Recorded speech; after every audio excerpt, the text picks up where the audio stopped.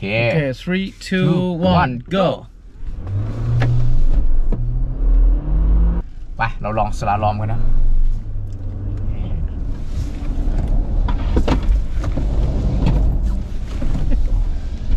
โอ้ตอนนี้เอาเลยเหรอร้อยแปคะดสิบแล้วสามสองหนึ่งเราเต็มไตถังแล้วค่ะร้อยเก้าห้าแล้วร้อยสองร้อยแล้วสองร้อยเข้าโค้งสองร้อยทด สอบรถใหม่ 16 รุ่นในเครือ Great Wall Motor จะเป็นยังไง มีรุ่นไหนจะเข้าไทยบ้าง เดี๋ยวคลิปนี้พามาดูกันครับ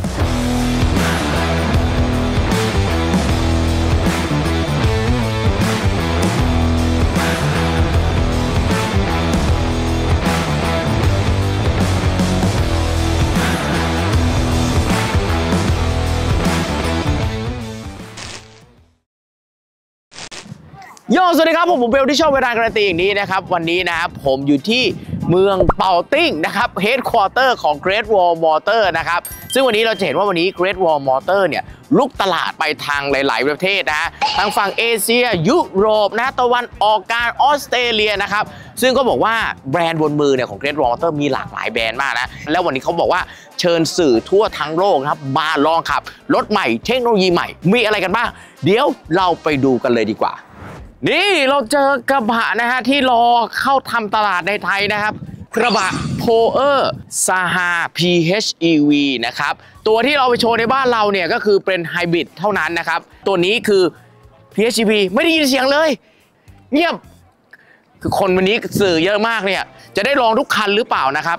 นี่ระหว่างรอนะฮะ เราเจอรถคันไหนเนี่ยอะเราซัดเลยนะครับ นี่แท้ง700 Hi4นะครับ ตัวเทคโนโลยีไฮโฟนะครับบอกว่าเป็นเทคโนโลยีอัปเกรดขึ้นมาอีกขั้นนะครับ ก็คือเป็น PHEV นะฮะไฟฟ้ากับมอเตอร์ที่เขาถูกพัฒนาขึ้นมา เป็นโน้ตฮาวของทาง Great Wall Motor นะฮะนี่อ่าเออสวยว่ะใหญ่ เพิ่งเห็นนะเนี่ย ตัวเนี้ยตัวเนี้ยอ่าไปนี่นี่ ORA นะครับเออบ้านเราน่าจะทำสีด้านอย่างนี้นะ เออข้างนอกแม่งดูดุนะ แต่ข้างในนี่เบจเลย ข้างนอกดุดันนะฮะข้างในเบจนะฮะนี่ถ้าข้างในทำสีเข้มนี่มันจะดูแบบเหมาะกับผู้ชายนะ ตัวนี้เท่นะดำด้านตัดเหลืองนะ แต่ข้างในสีดำนี่จะดูสปอร์ตมากขึ้นนะครับ เออคล้ายๆ ตัวขายไทยนะอ่าเนี่ยถ้าทำสีนี้เนี่ยสวยเลยนะครับนี่ ORA zero seven นะครับอ่าหุยหุยหุยหุยนี่นี่นี่นี่นี่ h a w e l New H9 นะครับ คือ h a w e l เนี่ยจะไล่ตามไซส์นะ ยิ่งเลขเยอะยิ่งใหญ่นะครับ ซึ่งก็คือดูกระจังหน้าดีไซน์เนี่ยคือแบบดูแบบเป็นเหล็กๆบึกๆหน่อยนะ แบบเมกัน Defender นะครับ เนี่ยดูถ้าเห็นนะฮะ ไฟกลมนะครับ ขอบอลูมิเนียมทำสีออกมากันชนดูบึกนะฮะ คืออันนี้ต้องบอกว่า h a w e l มันเน้น SUV นะฮะแต่ H9 เนี่ยคือ SUV น่าจะเป็นตัวใหญ่สุดนะครับ แชสซีระบบเนี่ยผมว่าน่าจะมาจากตัวแท้ง500 นะอื้อหือนี่นะครับ นี่ ดูแบบสวยมาก เปิดปุ๊บบันไดไฟฟ้าเปิดมาทันทีนะฮะเหมือนจะตัวพวกแท้ง500 เนี่ย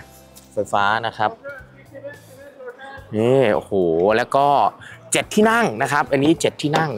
ใหญ่มาก ใหญ่มากโอ้ใหญ่มาก ใหญ่มากนะครับ นี่คือข้างในเนี่ยคือมันเป็น SUV ที่มีสิ่งอำนวยความสะดวก มีแอร์หลังปิดเปิดได้ เบาะไฟฟ้าคู่หน้า นี่ h a w e l Head f i g h t นะครับนี่พอ Head 9ไหมพอมันเป็น Head f i g h t ไอตัวนี้จะเอ้ยแต่ไฟมันดูทำไมมันใหญ่กว่า Head 6วะนะถ้าดูตัวเลขน้อยกว่านะครับ Head f i นี่ดูเดียว off road นะฮะเป็นแนว off road นะใส่ยาง a l t e r a n นะครับยาง a l t e r a n นี่หืมสายลุยเลย อืมเฮ้ยแต่ตัวนี้ใหญ่นะ คือต้องบอกว่าคนที่ชอบสสไตล์ h a w e l H6 เนี่ยคือชอบ Fortuner นะครับ พอตัวนี้นี่ดูใหญ่กว่า H6 อีกนะ อืมโอ้สวยอะ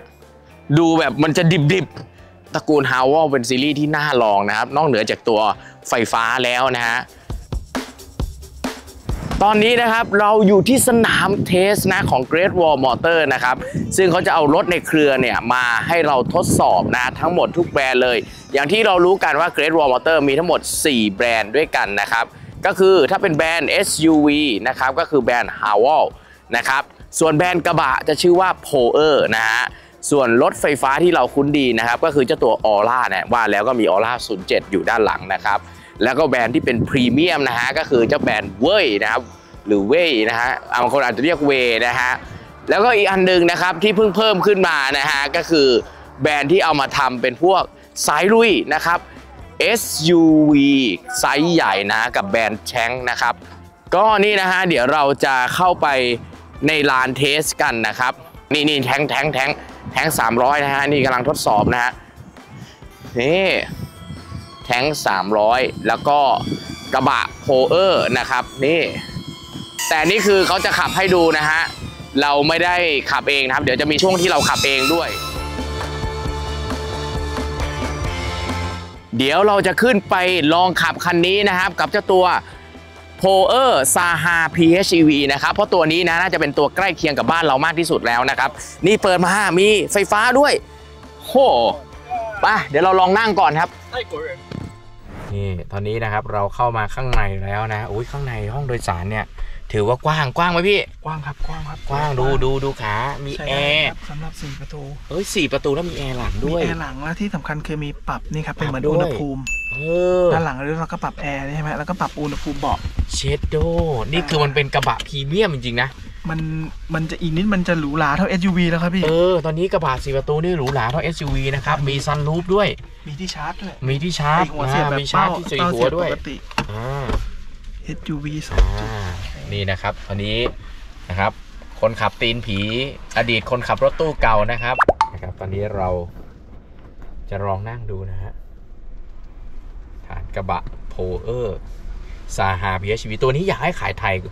จริงๆนะ จริงครับจริงครับเออเพราะกระบะที่ PHEV โอ้นี่เครื่องยนต์ติดเรียบร้อยแล้ว พร้อมกับมอเตอร์ไฟฟ้าฟื้น slowly อ่าท้ายมีออกนิดหน่อยนะครับ ตอนกดเต็มๆฟึ๊บอืมมีอาการนิดหน่อยออกนิดหน่อย And a slalom. Okay. สลาลม Right, left, Okay. right. อ่าอ่าดูด้วยนี่ Very ฝีมือ good. ตีคู่ Slowly. Okay. อ่า Cross. cross นะฮะ ลองข้ามว้าวค่อยๆไหลก๋วยก๋วยเตี๋ยวกูกองมาแล้วค่อยๆนะฮะ Yeah. โอ้แล้วนี่มีด่านข้างหน้านี่ค่อยๆนะครับ ทางไม่เท่ากัน นี่ดูหน้าจอเนี่ยบอกพลังงานนะครับว่าขับเคลื่อนล้อหลัง เป็น PHEV เครื่องยนต์อยู่ด้านหน้าขับเคลื่อนล้อหลัง Okay, right move. Left. Okay. And they stop. Okay. อ่าเดี๋ยวเราจะลองขับนะฮะ ตัวนี้นะฮะ โอเคนะครับ พร้อมแล้วนะฮะ เราเข้าเกียร์กันไอซ์เลตเลยนะ นี่นะฮะ เครื่องยนต์ เครื่องยนต์กับนี้ทำงานร่วมกันสี่ล้อเลยเอาอยู่นะฮะปึ๊บโอ้ยวงวงเลี้ยวแคบ วงเลี้ยวแคบอยู่ปึ๊บสลาลอม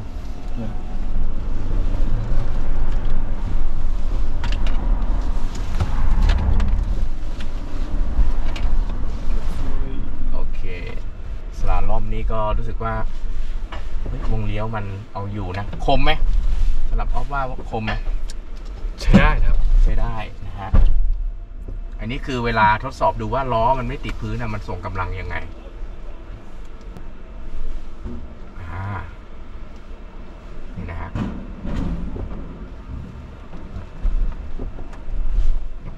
แล้วมันส่งกำลัง Right, right. Right, right, Yeah, okay. yeah. โอเค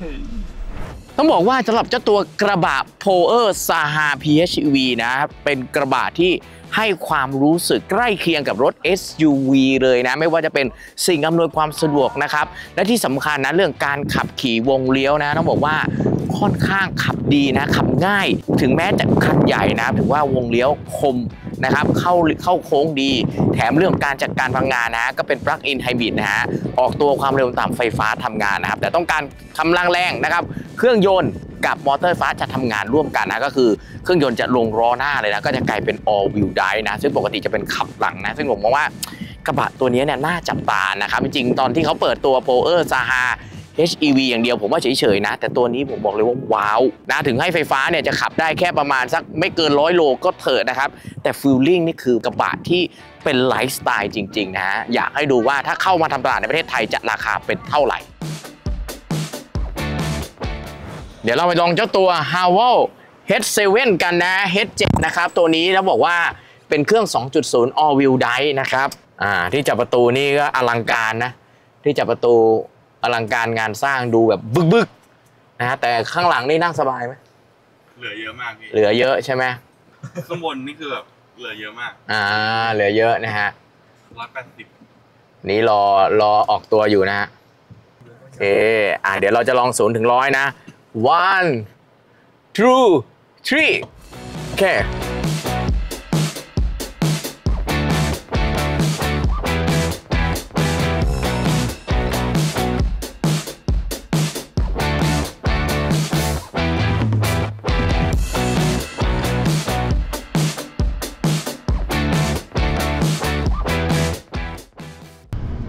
ถือว่า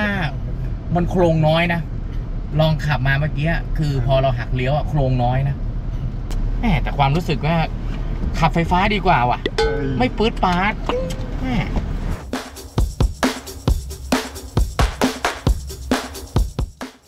เดี๋ยวรอบแรกนะครับ เขาจะขับให้เราดูก่อนนะฮะสำหรับเจ้าตัวเวศูนย์เจ็ดโอ้เหยียบแล้วก็เบรก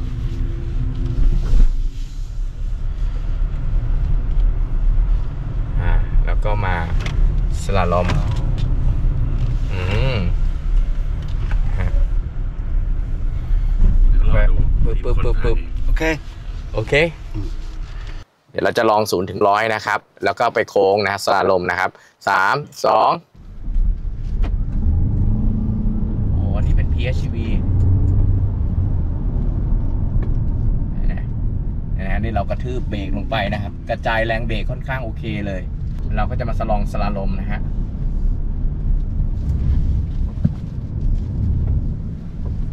เออเฮ้ยวงเลี้ยวมันไม่ได้กว้างนะฮะไม่ได้กว้างอย่างที่คิดนะฮะ นี่คือวงเลี้ยวแม่แบบดูแคบมากเลยอะ่ะโอ้ตอนนี้นะครับ เรามานั่งด้านหลังกันบ้างนะครับ ต้องบอกว่าด้านหลังเนี่ย พอมันเป็นรถ SUV High Class นะฮะ อย่างของ WEY นะฮะ ต้องบอกว่าเออมันมีออปชันนะไม่ว่าจะเป็นหน้าจอกล้องมองหลังมีเซ็นเซอร์ มีแอร์ด้านหลังนะครับเนี่ยแถวตรงกลางที่นั่งแถว3เนี่ยคือเบาะแถว 2 จะมีร่องนะครับ ให้เดินเข้าไปที่นั่งแถว 3 ได้อือนะฮะ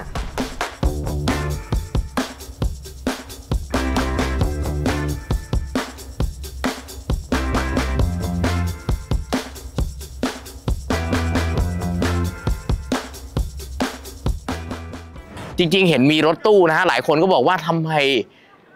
Great Wall ไม่ทำรถตู้ MPV มาบ้างนะครับ โอ้นี่นี่นี่มีมีเห็นอยู่นะ เมื่อกี้เหมือนเห็นรถตู้อยู่นะครับ ตอนเข้ามา นี่ฮะเจอแล้วรถตู้นะฮะของเว่ยนะครับ รุ่นเว่ย80 นะครับ ก็คือหน้าตานี่คือ a l p a r d เลยนะฮะแต่ว่าดีไซน์จะดูมีความเป็นแบบเลกาซี่หน่อยนะ ดูแบบ เอลิแกนดูหรูหรานะครับ นี่นะฮะรุ่นนี้น่าน่ามาทำขายไทยนะ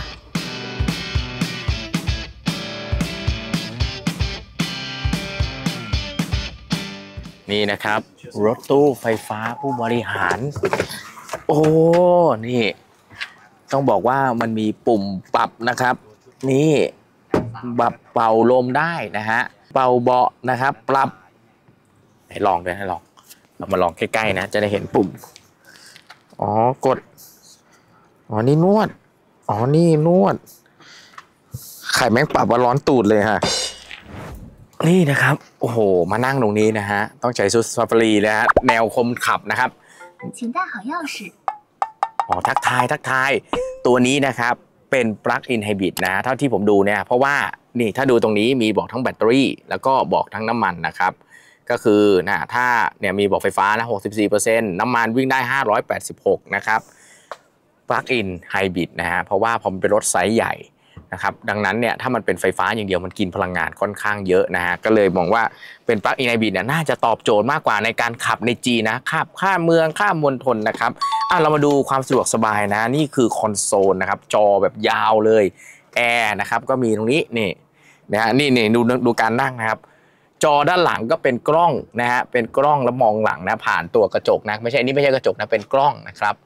โหมีซันรูฟนะฝั่งคนขับที่นั่งด้านหลังนะ โดยเฉพาะแถว 2 แถว 3 นะครับนี่รถตู้มีแล้วนะฮะรถตู้ปลั๊กอินไฮบริดนะครับซึ่งในเมืองไทยเองต้องบอกว่า ยังไม่เห็นเท่าไหร่นะส่วนใหญ่ก็เป็นรถตู้ไฮบริดไม่ก็กระโดดมาเป็นไฟฟ้าเลย เราจะมาลองขับเจ้าตัว Wey eighty นะครับหรือ Wey 80 นะ ซึ่งตรงนี้เป็นเทคโนโลยีไฮโฟนะครับนั่นหมายความว่าเป็นปลั๊กอินไฮบริดนะอย่างที่บอกนะครับก็คือเติมน้ำมันฝาหนึ่งอีกฝาหนึ่งชาร์จไฟนะครับนี่ฝาหนึ่งชาร์จไฟอยู่นี่นี่นี่นี่นี่นะครับ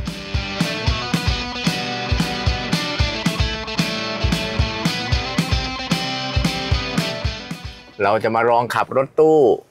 ไฮโฟนะครับเวย์ 80 นะครับ โอเค 3 2 1ปุ๊ดก็จะมีความอื่นๆแบบในรถตู้นะนะอ๋อนี่เครื่องยนต์ติดละอ๋อโอเค นี่นะฮะ แล้วเราก็มาสลาล่อม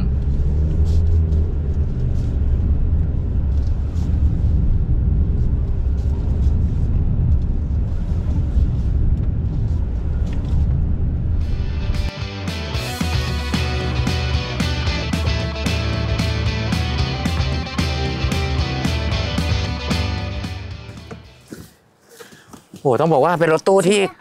ขับง่ายมากนะครับสำหรับเจ้าตัวนี้นะฮะสิ่งที่พอเป็นรถตู้ก็คือพอมันเป็นทรงสูงเนี่ยการที่มันโครงนะครับ ตัวรถเนี่ยโครงเนี่ยถือว่าไม่เท่าไหร่นะ เพราะว่าเมื่อกี้เราลองสลาลม แล้วก็ลองแบบหมุนเป็นวงกลมโดนัทดูเนี่ยรู้สึกว่าเฮ้ยมันเอาอยู่นะโอเคนะครับเพราะตัวเนี้ยมันเป็นการทำงานระหว่างเครื่องยนต์กับไฟฟ้านะครับไฮโฟเนาะโอเคยังเลี้ยงรุ่นหนึ่งตูต้องไปแท้ง400 ให้ได้ ไปแท้ง400 ขอลองขับอีกหน่อยว่าก่อนไปกินข้าว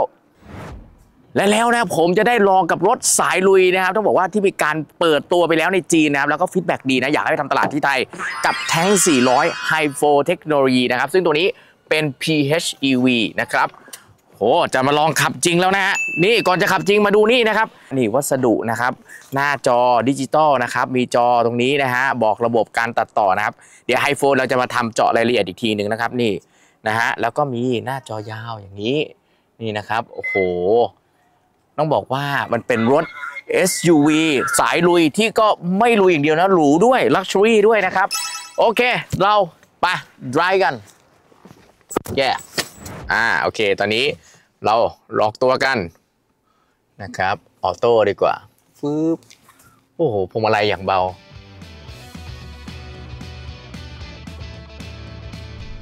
โอเค three, two, one, go.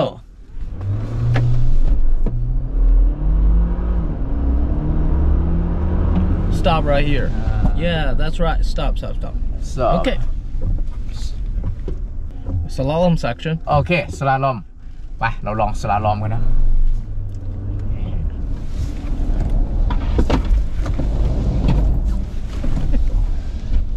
sorry Don't worry. Slow down. Figure eight. That's right. That's it. Ah. That's the eight. That's right it. turn. Right turn. No problem.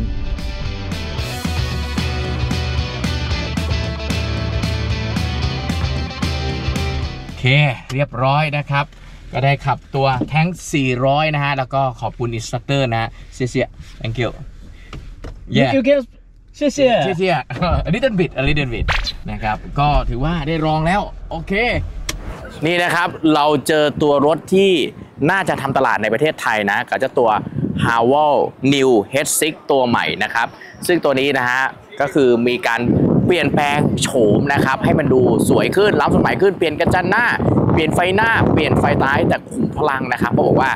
มียังเป็นคงไฮบริดนะมีทั้งไฮบริดแล้วก็ PHEV ด้วยนะครับ เหมือนตัวรุ่นเก่าเลย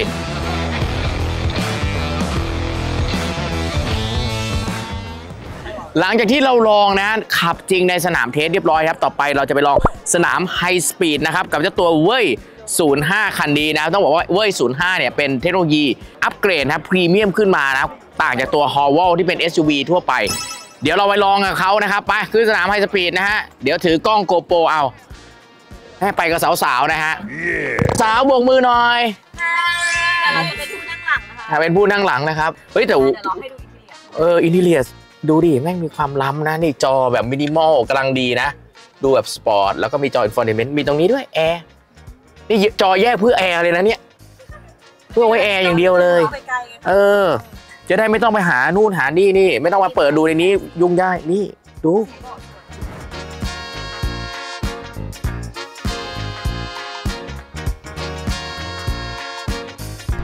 นี่กำลังค่อยๆออกนะ เพราะว่าเรื่องของ safety สำคัญเผื่อรถมันวิ่งมาเร็วพิ้ว อ่าเขากำลังดูกระจกนะฮะ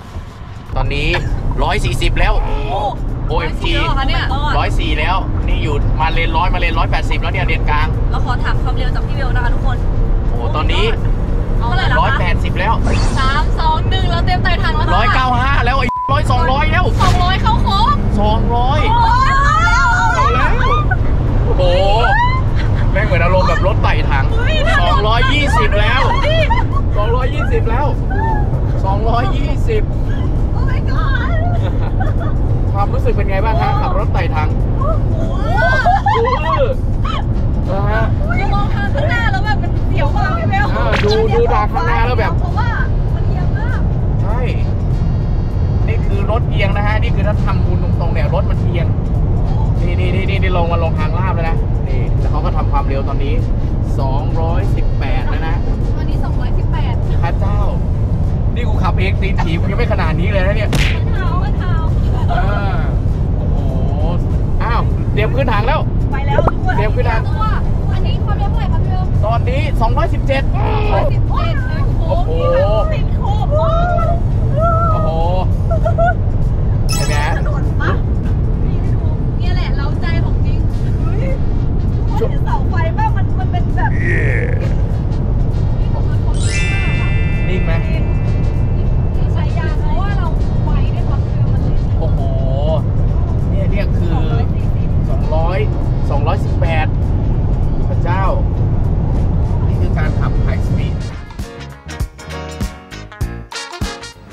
ไงบ้างฮะเฮิร์นเห่าเหินห่าวเหินห่าวจริงพาเหินเลยอ่าเป็นไงเข้าถึงซิกเนเจอร์เข้าถึงเลยเลยครับคัสตอมซิกเนเจอร์เลเลเยอร์คัสตอมแป้งล่อกูไปเมื่อกี้ 220 200 กว่าเลยนะ ชอบไหมฮะ ชอบมาก ช่วงล่างดีนิ่งมากเลยค่ะ เอ้ยแต่เมื่อกี้คนขับนี่เขารู้สึกว่าเขารู้สึก yes เออทำคนคิดได้แล้วแบบคิดinstructor เขาขับยิ้มเราขอถามความเร็วจากพี่เบล ดีใจอารมณ์เหมือนขึ้นรถไต่ถังนะฮะโอเคนะครับภูมิใจละภูมิใจภูมิใจวันนี้กูทำสาวกรี๊ดได้แล้วเพราะคนอื่นมือแต่ปั้นหน้านะเก๊กอยู่นะครับแล้วลงมาโอ้อ่าอันนี้อมอยู่อมอยู่นะครับไงขอบคุณ EV Girl ว่านะครับโอ้แล้วก็จะเห็นว่าวันนี้นะเป็นวัน test นะที่ชวนสื่อหลาย ๆ สื่อเนี่ยมาร่วมทดสอบนะครับสำหรับรถในเครือของ Great Wall Motor นะครับไม่ว่าจะเป็นWey นะครับตัวท็อปสุดนะฮะหรือตัวรถสายลุยอย่างกระบะ Poer นะครับหรือเจ้าตัวแทงนะรถสายถึงนะ SUV หรือแม้กระทั่งตัวที่ขายบ้านเรานะ Haval นะฮะและสุดท้ายก็คือ Ora ที่เป็นรถไฟฟ้านี่เองนะครับก็เอาเป็นว่าบรรยากาศเนี่ยผมเก็บมาลองเท่าที่จะทำได้นะครับ ก็ใครที่เห็นว่ารุ่นไหนน่าสนใจอยากให้เข้าไทยนะครับ สามารถแสดงความเห็นคอมเมนต์มาด้านล่างนี้ได้เลยนะครับ ถ้าชอบคลิปนี้นะฮะฝากกดไลค์กดแชร์ กด Subscribe เป็นกำลังใจให้ด้วยนะครับ ไว้ถ้ามีเรื่องราวอะไรที่น่าสนใจจะเก็บมาฝากอีกนะสำหรับคลิปนี้จบเพียงเท่านี้ เจอกันในคลิปหน้านะครับ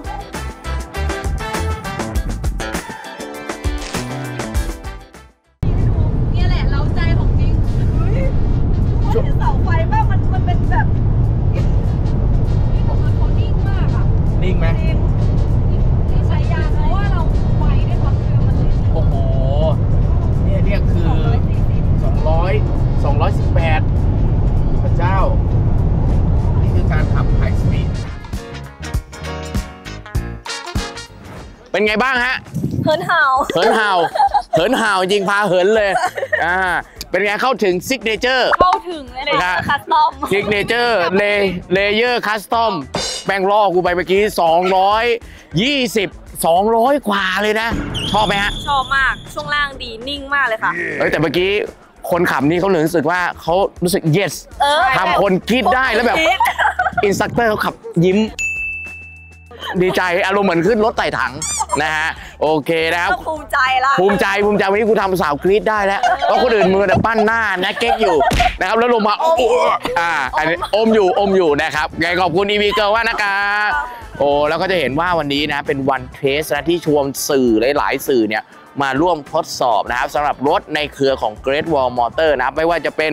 Wey นะครับตัวท็อปสุดนะหรือตัวรถสายลุย อย่างกระบะ Poer นะครับหรือเจ้าตัวแทงนะรถสายถึงนะ SUV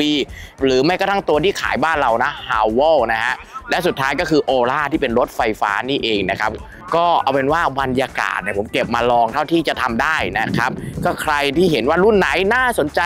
อยากให้เข้าไทยนะครับ สามารถแสดงความเห็นคอมเมนต์มาด้านล่างนี้ได้เลยนะครับ ถ้าชอบคลิปนี้นะฮะ ฝากกดไลค์กดแชร์ กด subscribe เป็นกำลังใจให้ด้วยนะครับ ไว้ถ้ามีเรื่องราวอะไรที่น่าสนใจจะเก็บมาฝากอีกนะครับสำหรับคลิปนี้จบเพียงเท่านี้เจอกันในคลิปหน้านะครับ